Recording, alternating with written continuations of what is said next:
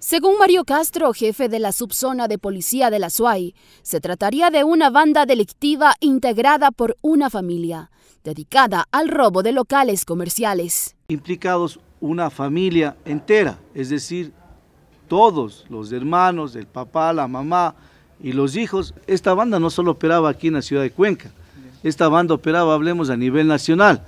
Fueron capturados tras denuncias ciudadanas. Los mayores de edad les distraen a las personas adultas que están atendiendo en el local comercial y los menores de edad inmediatamente saben a dónde tienen que irse, a la uno a la caja donde está el dinero y los otros a, ver qué artefactos eléctricos eh, tecnológicos pueden sustraerse. Ese era el modus operandi.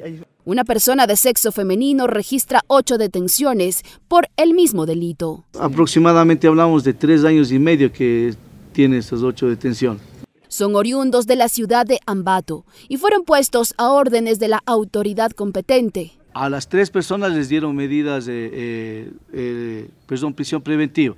A las otras personas, por su edad sí, y por ser la primera ocasión, les dieron medidas sustitutivas.